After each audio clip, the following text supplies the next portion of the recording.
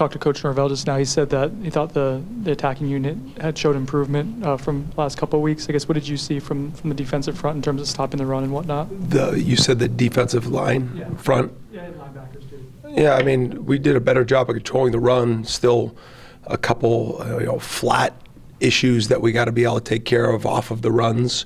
Um, but you know, I think the last couple weeks we've seen slow improvement, not accelerated enough, but we're seeing it.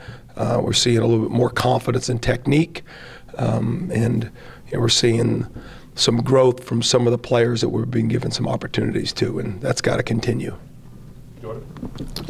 Coach Norvell also mentioned improved third down defense, but needed to be a little bit better. How did you evaluate your team in that aspect of the game?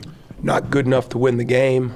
Um, you know, there were there were there was a couple plays there. You know, even the first third down. You know, we hold them to a field goal after the sudden change, but we give them an extra series. Just you know, we could have made that that third down a lot easier.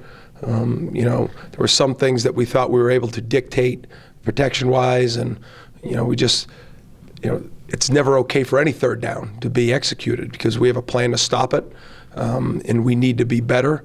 Um, you know, we got to make sure that we hit um, on each third down opportunity because you know we we got to play better. Um, we got to be there for this football team. We got to keep getting better, um, especially on third downs. Um, I thought our red zone was better um, because they didn't get in the end zone um, each time. So, you know, there are things that you need to build on, but still maintain a standard of where you need to be. Losing Cam during that game obviously um, was a challenge. How did you feel like? I mean, Justin seemed like he played well, and just that group overall. How did you feel? Yeah, I mean, you know, it just things happen out there, you know, and so we're trying to make sure we're able to keep that position fresh so we can play as fast as we can. Uh, I do think Juice in the last couple games when we've given the opportunity continues to gain confidence, um, and that shows up in his execution. Uh, he's able to play a little bit more to his ability. Um, I think Blake is quietly just mounting reps. Still want to see more playmaking out of him because I know it's there. Uh, Demarco Ward got in the game uh, because we had to, you know, we didn't want to just leave the three out there with DJ. Um, so I thought Demarco stepped up and, you know, got his feet wet and was able to give us some snaps um, so that we could keep guys fresh and he could get his own experience. So um, hopefully we get a few guys back, uh, but we got to just keep getting better with the guys we're giving opportunities. And you know the way we're operating right now is you know when the guys are showing it out there, we're giving them their opportunities. When they do well in the game, they get more opportunities. If they don't, we go to the next guy. And so we're just trying to develop the entire defense, the entire team, whether that's showing up in special teams. You know, Q Jones is showing up in the kicking game um, in a really good way. So we're trying to give him more opportunities on defense. Um, you know, Fenn went down again towards the end of the game. So, you know, Quinn was in there and did a nice job. The ball didn't come his way. But, you know, there are some of these guys that are redshirt freshmen that are starting to get, we, we believe in them they just got to continue to believe in themselves so that we can maximize those opportunities when they get on the field. You mentioned some of the redshirt freshmen. KJ Kirkland came in for Shyheim. You know, what did you make of his performance in that game? Good. You know, I thought, you know, Kirk deserves the opportunity to continue that role, um, you know, of playing for us. You know, I thought he handled things really well. I thought he was calm. He was in position. Um, you know, things weren't too fast for him. He controlled the moment. Um, you know, there's some plays he left out there um, that I expect for him to make. He was a, he was a step late on a dig. Um, you know, missed a, missed a tackle, but did make some. And so, you know, just building on the positives and learning from the things you need to be corrected. And he's somebody that I believe will do that. That's why he earned that opportunity. And, you know, he'll be better this week. It's my job to make sure he is. We you talked about after the first game we've seen in the last couple weeks Sione's role grow, get more playing time. I guess how have you seen him respond to to a larger role within the defense? Good. You know, I thought Nusi had a good. Um, I don't want to say a great game, but he was impactful. You know, he made a couple plays. He shut down a couple runs on the edge, just physicality, coming off, making blocks. He actually showed up in a pass rush on two opportunities and got good hits on the quarterback. Uh, execution level, for the most part, is really good. We got to clean up a couple of those split zone plays. Um, we just we came too, I don't want to say too aggressive, but our technique was flawed with a couple of those that uh, we got to clean up. And he's a veteran player. He's better than that. Uh, but, you know, again, Nusi's one of those ones that we've given a little bit more opportunity, and that's going to continue to happen for him because I do like the direction he's headed.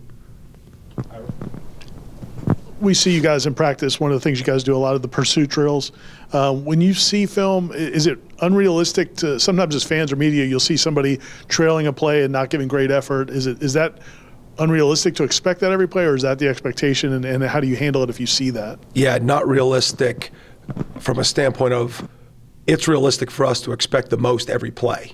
And, you know, if the guy doesn't have a lot of gas in the tank because of whatever that energy level is, that's our job as a coach to react to that and make sure the next guy's in the game. And, you know, I don't think there's not a lot of players that I've come across in my time that just refuse to chase the ball. Um, if that happens, then there's a major issue, and that needs to be dealt with um, aggressively. Um, but when it comes down to, you know, if the energy level, whatever that is, isn't there, that's our job as coaches to react to it um, because it is. I mean, if you don't chase the ball, you have no chance of winning the game because that's the. Doesn't matter if you're a zone team, a man team, a three down front you know, the more people you get around the ball, the better chance you have to get the ball back. And um, so, I mean, that is something that is critical. We are not as good as we need to be in that in that area right now, and that falls on me. And I'm doing everything I can to make sure that gets corrected ASAP. Following up on that, to, to be better, to be where you want it to be with, with the energy level, like is that is that something that you guys can do daily as coaches to emphasize it? Is it have to be personnel, like when you're trying to get effort, energy, that kind of stuff? How do you how do you maximize it? all all i mean you know sometimes it's you know just a coach taking the reins of a leadership standpoint sometimes it's a player i mean sometimes when you, know, you saw it out there in the first drive you know nobody wants to turn the ball over on the first drive it happens and we went out there and made a play, then made another play, then we gave up a play, then came back and made another three plays, and you started to see that energy get created. So, what happens first? The energy or the play being made, right? Because they kind of work off of each other. And sometimes when momentum's happening and you're going against the momentum, it takes a play to change that momentum. Now, does that happen because your attitude going into the play, your mentality going into the play helps you make that play to change it? Yes, it all matters. And I think in order for it to get done, it starts at the top. And I think we have the best leader in, in, in sports in Coach Norvell. And he's consistently that person, which allows the opportunity for each coach to be that person, which allows for each player. And so it's just, it's all part of it, but everybody that takes a baton has to speed it up. And I think that's an important thing to make sure that that happens. Uh, two for one. Uh, and they're not even related, but I'm just going to try to save him walking back and forth. Uh, what can the, the sudden change defense, the way you guys play in those situations, what can that do for this team? It seemed like there were some positives there. And then the other question is on the some of the past plays where there have been breakdowns in communication or what, whatever's happening, is that a matter of those guys, new new players, just needed to be more time on the field together, or are there things you're already doing to try to address that? Totally. Totally. Yes. Let's. Yeah, I, I like the synopsis of sudden change defense. Let's hit that. Um, you know, I try to bring in practice. You practice that every time because you change periods. And so every time you change period and you go into a new a new session, like that's the because you went from not on the field to on the field, and there's the mental preparation to you know, everybody here has a job. All of a sudden you clock out, your job's done, and your boss calls you, and you got to come back and do the job. That's what it is. And so, you know, sometimes you don't think about it and you just go and react. Sometimes there's time to think about it, whatever that is. But we try to practice those situations because I see it as this: when it's sudden change, our team is lacking momentum. That's a great opportunity for the defense to go grab it back. And there's no better thing than when things are going this way to get them back the other direction, right? Because that, that breaks wills of other teams. And so, you know, we got to take advantage of those opportunities and see it as that great opportunity. And, um, you know, unfortunately, it happened a few times on Saturday. Uh, we weren't perfect because there were some field goals. It was, you know, opportunities that we probably could have even been better. Um, then going back to the just the coverage, you know, we play a lot of tight coverage. I mean, it's part of what we do. And teams try to use formations and motions to create space because they don't feel confident just lining up and trying to create space one on one. And so I see, tell our guys, you've earned the right to get them in condensed formations because they, they haven't been getting open with the space. There was some great route matches. I thought Saturday, you know, our guys did a really, really good job on a lot of them.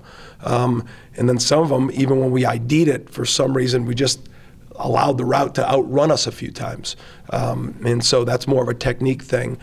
But I do think when you're playing, me and you have him and him, you know, him and him go fast, one goes slow, one goes fast, one comes off. The more we play together, the easier it is on the execution.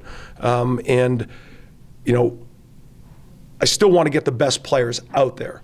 And it's a combination of the guys that are the best individual players, but there's a point of it, the guys that play the best connected defense, because you know those opportunities are going to come up.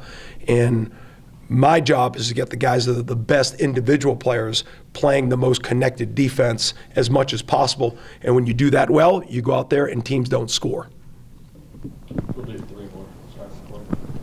It, it seems like that uh, Patrick and Marvin had their most impactful games uh, on Saturday. Overall, how did you think they played as a as a defensive end duo? I guess. So separate from Nusi, just those two? Yes. Okay. Well, I think first thing, Corey, is they average two yards a rush. So now what does that give you the opportunity to do? Go rush the passer and put them in situations that we get to go do that. I do think that's both of their strong suits. Um, you know, there were times that I thought we were good in the run game at that position. And there's still some times that we still saw some of the lapses in alignment or technique, and you know that just constant coaching and reminders, and you know me calling the defense better to suit how they're playing and all the adaptability. You know, but we did see some lost plays, we did see some sacks, did see some pressures, did see some hands on some ball disrupts. Um, so better, but we need better. Coach, I think Memphis had over 70 plays. They owned the ball for 36 minutes. How hard is it for a defense to stay fresh throughout the game, and how did you feel your team did in such a physical aspect? I mean, we didn't win the game, so we didn't do well enough. I don't try to judge it just by that, but that is the end result.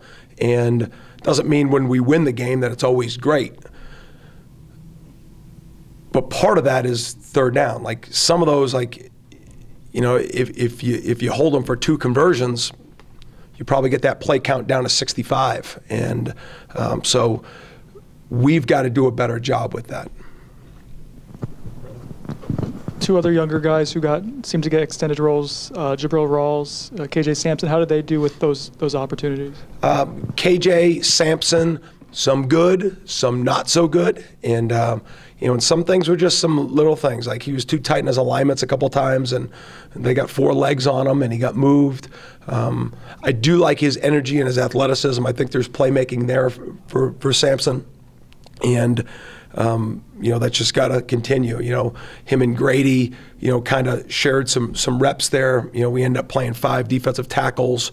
Um, you know, want to continue that. So, you know, I do think KJ Sampson has a future this year and continued, and he's just got to have another good week.